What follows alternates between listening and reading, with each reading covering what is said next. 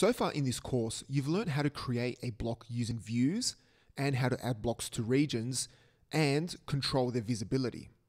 But what if you want to create a block with just text in it? What if you want to add a call to action into the sidebar and have the text editable and not hard coded? Now in Drupal 8, there's a new module called Custom Block. The module allows you to create custom block content and define block types. If you use the standard installation profile, it's already installed. To play around with custom blocks, just go to Structure, Block Layout, and click on Custom Block Library. From this page, you can create a custom block, just enter in a description and some text into the body field. You can also manage custom blocks from here. We haven't created any, so nothing appears.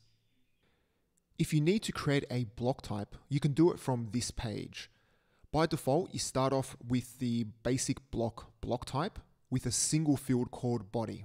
Now, what this module does under the hood is it defines a content entity called custom block. And block types are just bundles, similar to fields.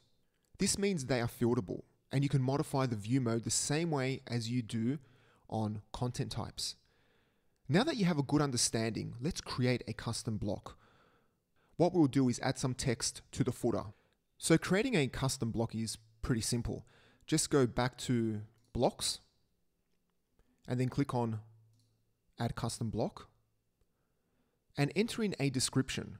We'll call this footer and let's just enter in the body. So think of this as some disclaimer text and then scroll down and click on save.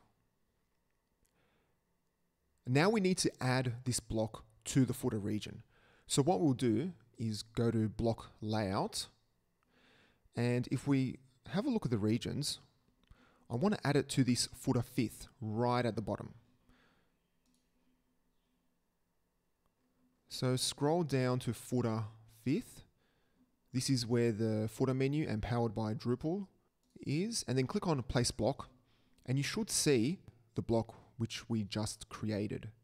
It'll be under the category custom. So just click on place block and let's uncheck display title because we don't want a title to be displayed and we'll leave the visibility as is because we want this footer text to appear across the whole site. So just click on save block. Order it so it's right at the bottom, and then click on Save Blocks. All right, let's go back to the front page, and you should see the footer right below Powered by Drupal. Now, if you want to modify this bit of text, you can do it in a few ways. You can click on the little cogwheel or contextual link and click on Edit. And this will take you directly to the custom block edit form and let's just enter in some text. Then if you click on save, you will see the text has been updated. Or you can go back to structure, block layout,